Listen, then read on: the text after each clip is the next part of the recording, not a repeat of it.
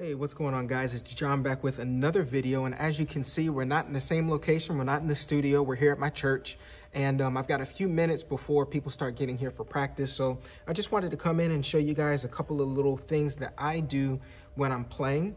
Um, and predominantly what I want to talk about is creating atmosphere with pads. So right now what I have is just a basic piano sound set up here on the keyboard, okay? And this piano sounds fine, but in a moment where you really need that extra flavor, I'll turn this knob and I get my pad sound, okay? And so when you have your pads, one of the key things that you wanna remember whenever you're playing pads is you don't wanna play um, a lot of chords and you definitely don't wanna play a bunch of chords. You don't wanna play a lot of notes and you don't wanna play a lot of chords. You wanna play things really, really spread out. You wanna make sure that you have some room because pads can tend to get very, very muddy. And so if you're just playing basic triads,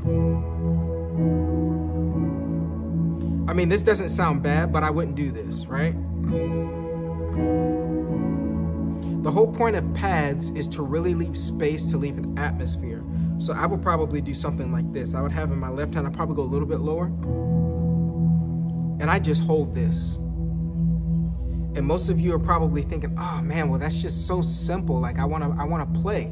And when you're in worship, you're not, you're not playing to play. You are, you are supplementing the moment with, with the sound, right? And so if there's a moment where the Holy Spirit is moving and people are on their knees and people are crying, you don't want to be playing a bunch of chords. You may not even want to be playing a song, right? And you just want to keep it very simple. This is one of my go-to tricks. Octave in the bass, you got an octave in your right hand, but you're also playing your fifth in the middle. And it's very simple. And you just let that ring out. Okay? And if any of you guys are familiar with Agnus Dei, this is the perfect moment to go into that. With my left hand just pedaling the one, I'm in the key of E by the way. What I can do is just softly start that melody.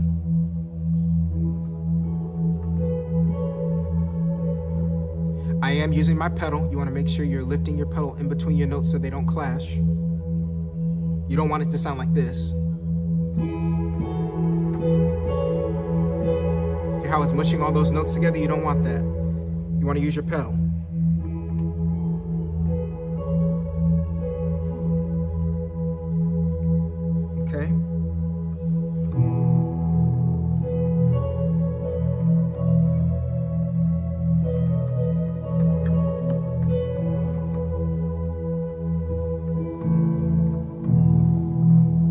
Very, very simple stuff, right?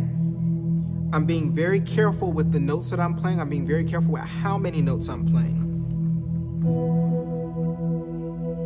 I'm normally keeping very spread with octaves and doing simple notes, simple melodies. You don't want to play fast either. Leave room. Something can happen in a moment like this.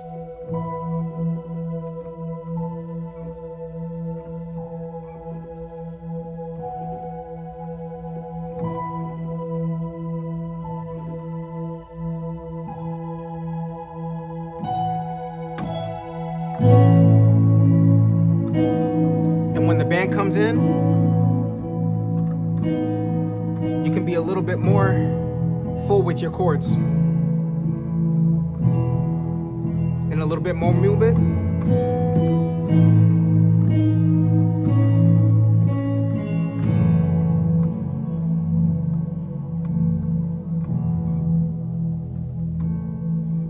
And you're very soft, you're intentional with your dynamics okay? All of the things that I, have been teaching you guys so far have been about theory, been about playing um, chords, playing notes, playing melodies. But ultimately, what you want to remember is that when you're playing, especially in a worship band, your goal is to create a mood. It's to allow room for the Holy Spirit.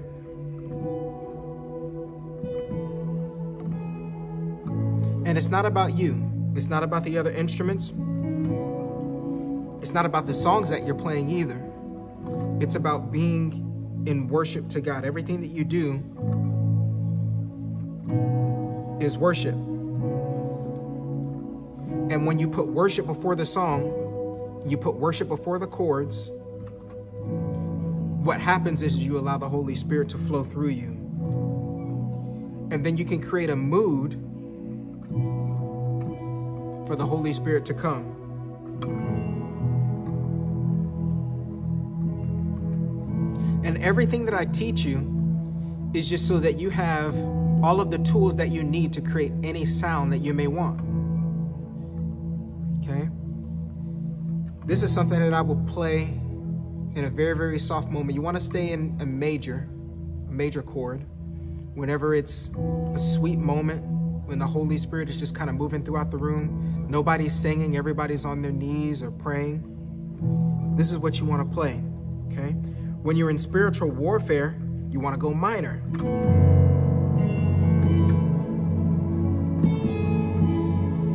And so when you're doing spiritual warfare, the pads take on a different tone. And so you want to be a little bit more full with your chords.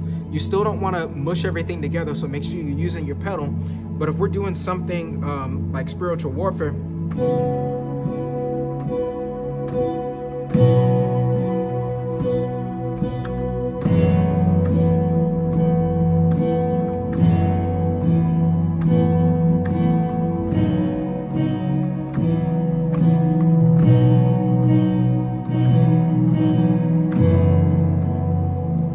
keep things in minor.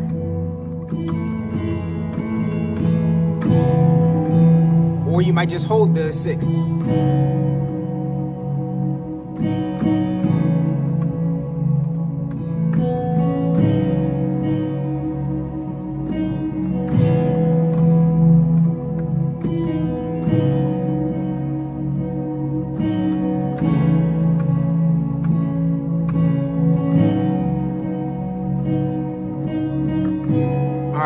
I'm doing there is I've got my six in the bass, and in my right hand, I'm doing a one chord, and then I'm doing a five over six, and then I'm doing a four over six, back to a five over six. This is a very good spiritual warfare chord progression. Doesn't require you to do a lot, but it's powerful. Now I'm playing by myself, of course, but remember that you have a whole band behind you. You got a bass player, you got a guitar player, you got a drummer. Even if you have less than that, you're normally not just playing by yourself, okay? And so you want to keep that in mind. You don't want to overplay, and you want to let the um, you want to let the Holy Spirit flow through you in those moments. Know when to bring the dynamics in, when to bring them down, and to be tasteful with where you place different melodies and different different riffs and stuff.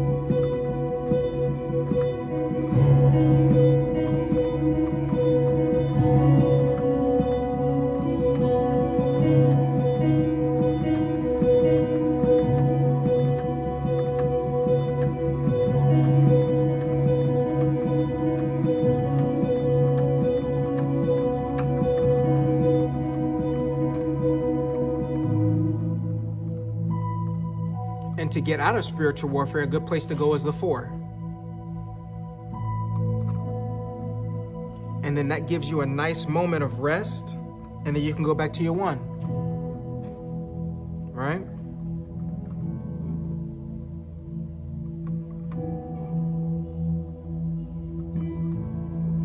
Okay.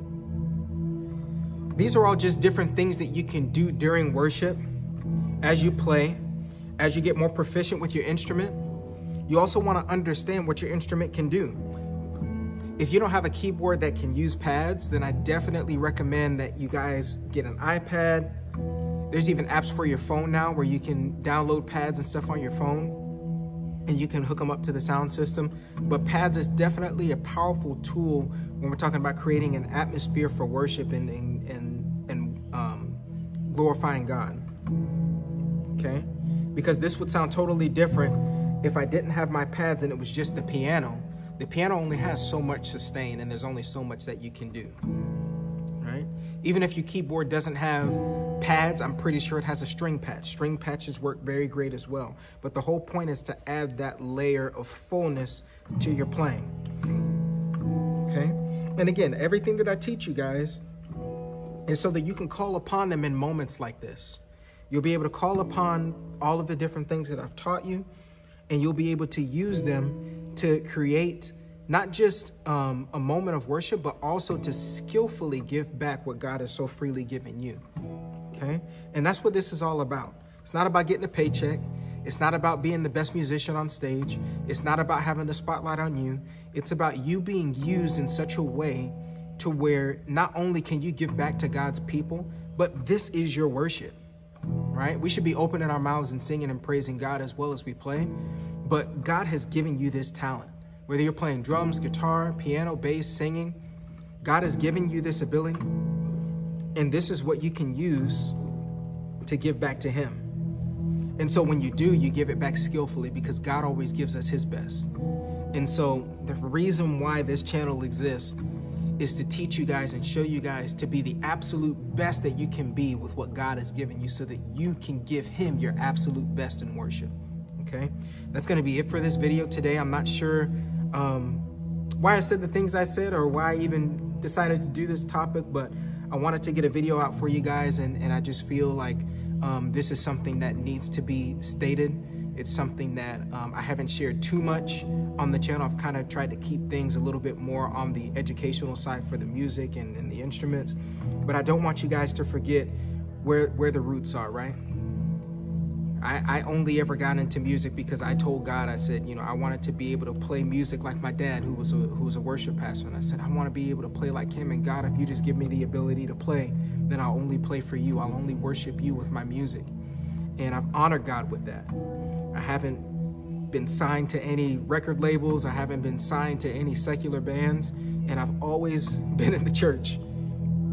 And it's one of those things that I, I truly, truly value. And it's one of those things that you should value as well. And I don't want you guys to take it for granted. Remember that what we do is to worship the living God.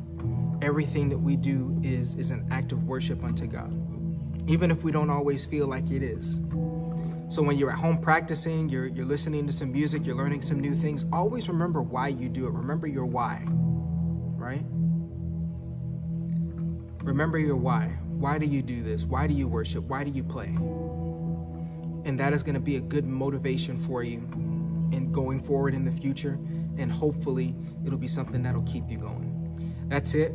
Um, God bless you guys. Um, continue to practice, continue to get better, continue to, to give God your best. You guys take it easy, stay blessed. I'm out.